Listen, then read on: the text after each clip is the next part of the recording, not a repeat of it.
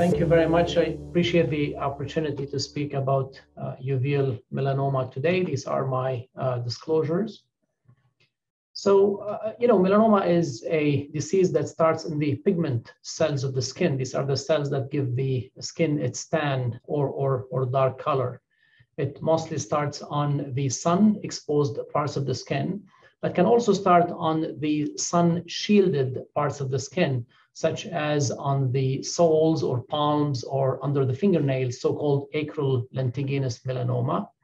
It can start on the mucosal membranes and can also start in the eye, where it may start in the conjunctiva, which is the uh, mucous membrane that covers the outer part of the eye and the inside of the eyelids, or in the uveal tract or so-called uveal melanoma, which is the subject of our discussion uh, today. So uveal melanoma, it constitutes uh, about 95% of ocular melanomas, uh, and it may arise in the so-called choroid as shown here, which is a vascular membrane that contains connective tissue and lies between the retina and the outer part of the eye, so-called sclera or it can start in the ciliary body, uh, which is part of the middle layer of the wall of the eye and lies uh, behind the iris, the, which is the colored part of the eye where uveal melanoma can also arise. The remainder of these ocular melanomas can be, as I said, in the conjunctiva or rarely in the orbit. The incidence of uveal melanoma in the US is upward of 3,000 new cases each year. There is about 50% risk of developing metastases uh, within 15 years. And if that develops, the liver is the predominant site of metastases. Mortality because of metastases has been estimated at about 20 to 30% of patients within five years and about 45% of patients within uh, 15 years. So what happens when uh, uveal melanoma is diagnosed and is localized to the eye? There are two primary options for managing localized uh, melanoma, uveal melanoma, either surgery, and this is kind of the extreme option these days when it is generally uh, advanced to a point that radiation is not effective because radiation is so-called eye sparing treatment. So the eye can, you know, stays without, without having to remove the eye. Patients would undergo a form of radiation therapy, including so-called plaque brachytherapy, charged particle radiation, and uh, proton, uh, excuse me, photon stereotactic uh, radiation. And there is only about 5% risk of local recurrence following this form of eye-sparing radiation therapy. An example on the right here is the plaque brachytherapy, uh, where a radioactive plaque is actually sutures to the, sutured to the globe of the eye behind the location of the uveal melanoma and left there for about three to seven days to essentially, uh, you know, treat uh, the, uh, the melanoma locally. So after this is done, after we treat the uh, localized uveal melanoma, what is the prognosis? What is the likelihood of this coming back in the future? And what helps us determine this prognosis? So as I said, local treatment is effective in preventing local recurrence in more than 95% of cases, and approximately 50% eventually develop metastatic disease. There are certain features, you know, clinical, histopathologic, and molecular features that can guide us in determining the prognosis. Examples of clinical features are the age of the patient, the basal diameter, how wide, how, how you know, the size of this melanoma, ciliary body involvement, extrascleral tumor extension, and these are accounted for, uh, among other features as well, within the uh, so-called TNM staging system. And the molecular features include chromosomal markers like monosomy 3, uh, gene expression profiling, and measuring circulating tumor cells and circulating tumor uh, DNA. What has been shown to be best in terms of prognosis is so-called gene expression profiling. The most commonly used test is a test called DecisionDx, uh, which looks at about 15 genes and, and looks at their levels of expression. So we take a biopsy from the original uh, melanoma and a test that looks at the expression of those genes. Expression meaning, are these genes turned on or off? If they're turned on, these lead to uh, subsequent steps and, and an ultimate function or, or, or functional consequences that happen. If they're off, same thing happens. Certain functions do not, do not occur. So based on the expression levels of those 15 genes, patients are classified into class 1A uh, that are estimated to have a low risk of metastases within five years, class 1B, intermediate risk of metastases within five years, and class 2, high risk of metastases within five years.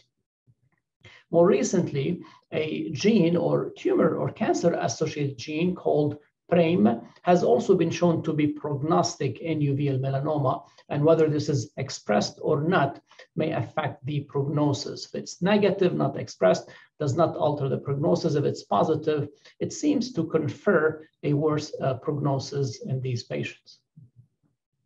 So giving more information about this, the plots on the left looks uh, basically define the uh, percent metastases free. So what's the proportion of patients who are free of metastases uh, over time? So class one would be low risk. And as you can see, class two would have a higher risk of, of metastases and class 1B uh, run somewhere in the middle. The table here shows the actual numbers. So the percent metastases free at three years, percent metastases free at five years. So for class 1A, this is estimated about 98%, class 1B 79%, and class 2 about 28%. So coming to PRAME, the, uh, the other uh, gene, uh, it, it, seems to affect the prognosis within each class. So if we take patients with a class one and they're PRAME positive and look at the proportion of patients who are uh, metastasis free over time, these patients tend to do worse than patients who are PRAME negative, those who are not expressing this uh, gene. Same applies for class two. Look, the, the plot on the left here, again, the percent metastasis free, uh, uh, uh metastasis free, PRAME negative compared to PRAME positive. And this is here the mortality because of melanoma between patients who are class two and also PRAME negative compared to PRAME positive. So in other words, if the patients are PRAME negative, the class risk is not altered. If it's PRAME positive, the class risk appears to be elevated. Moving next to the management of metastatic uh, uveal melanoma many agents and, and, a large number of studies have been tested in, in uh, uveal melanoma.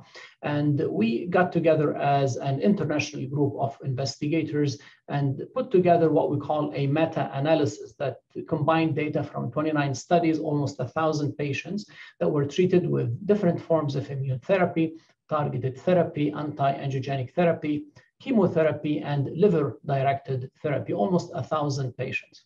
What we learned from this meta-analysis, this large uh, combination of studies, is that the likelihood of response with all these different uh, agents that had limited activity uh, is about 10% between complete responses and partial responses.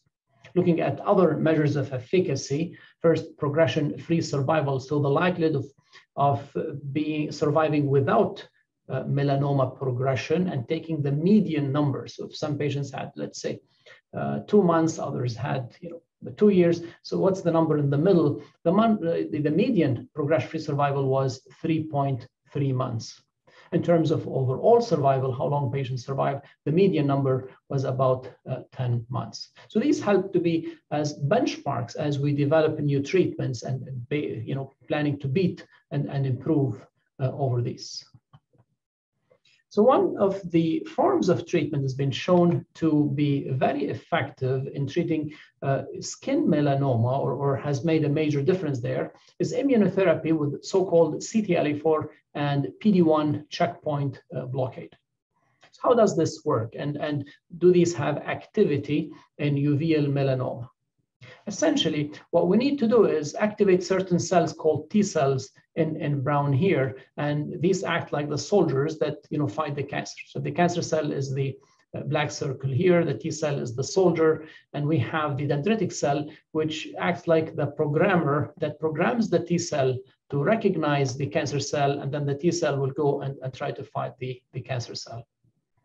This happens through, you know, two main, uh, let's say, steps that we can, you know, simplify things here.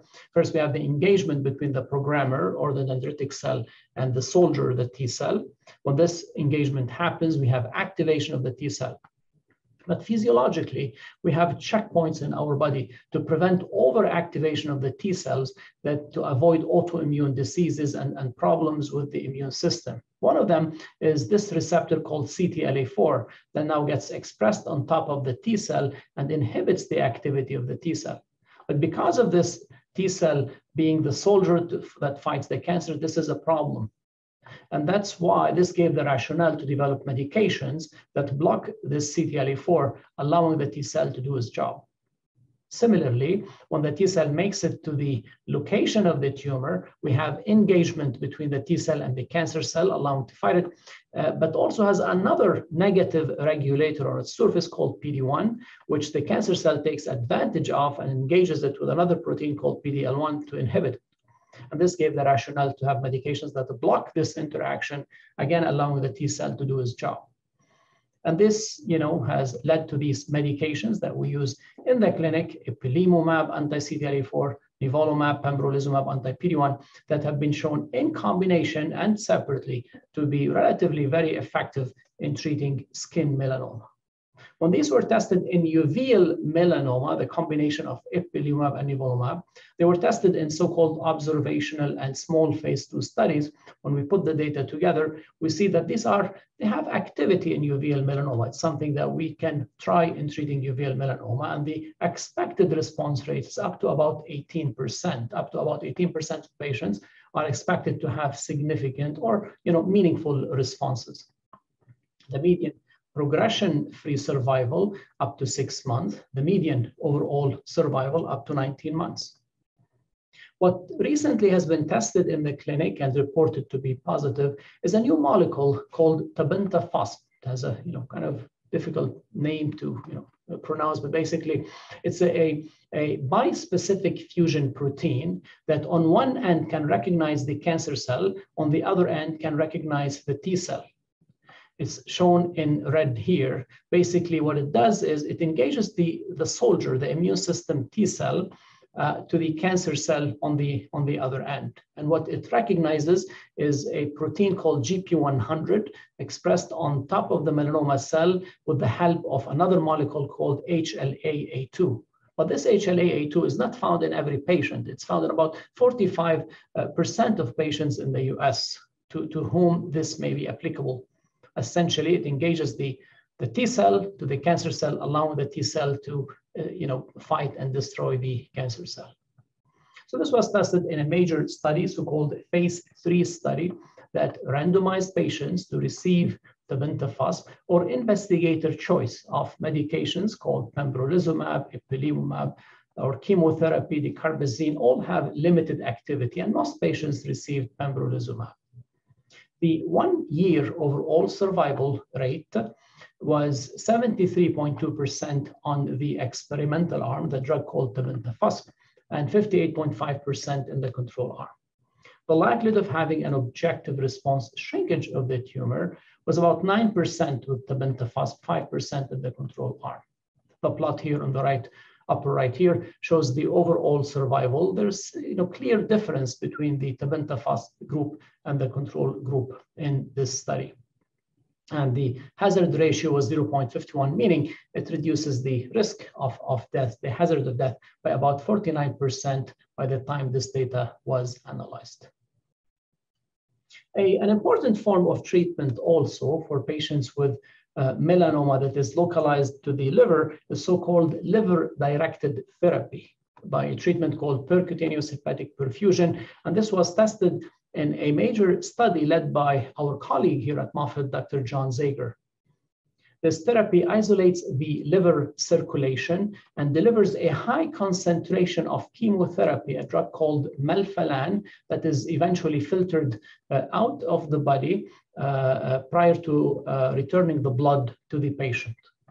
So this phase three study, eligible patients had liver dominant ocular melanoma were randomized one to one to receive this PHP treatment or investigator choice of so-called chemoembolization or immunotherapy with pembrolizumab or ipilimumab or chemotherapy with dacarbazine.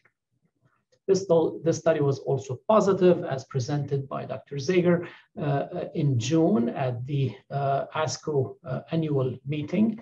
And uh, it showed that there is significant difference in the response rates between the PHP group and the control group, so almost 33% compared to, compared to 14%. And when looking at the progression-free survival, the median was about nine months compared to about uh, three months again suggesting that this or, or, or reporting that this is an important option to treat these patients. Now, important to say that this is not approved by the FDA yet, but it's under review by the FDA. Similar, the same thing applies to the tebentafusp drug that's currently under review uh, by the FDA. So in conclusion, uveal melanoma has a unique biology that requires therapeutic considerations distinct from those for cutaneous melanoma. Uh, genetic tests may help with the prognosis of localized disease. Uh, percutaneous hepatic perfusion PHP showed Im uh, improved response rates and progression-free survival. The combination of ipilimumab and nivolumab has been shown to be effective in observational and early phase trials and is an option for our patients in the clinic. The tebentafusp resulted in longer overall survival than control therapy. And as I said, it's currently under review by the FDA. And emerging insights into the biology of uveal melanoma have led to the development of a series of novel uh, clinical trials. And uh, we are working hard on a number of studies here. We have a, um, a number of studies that are opening up uh, in the next uh, weeks and months as well uh, uh, to, to address our patients' need. And it's important to note that patient participation in clinical trials remains a critical part of the standard of care of uveal melanoma patients. Thank you. Thank you, Ahmad, for all of that. I think we are on the verge of making some big progress in uh, melanomas of the eye and other non-melanoma, non rather cutaneous melanomas, but uh, we still have some work to do and clinical trials are going to be critically important.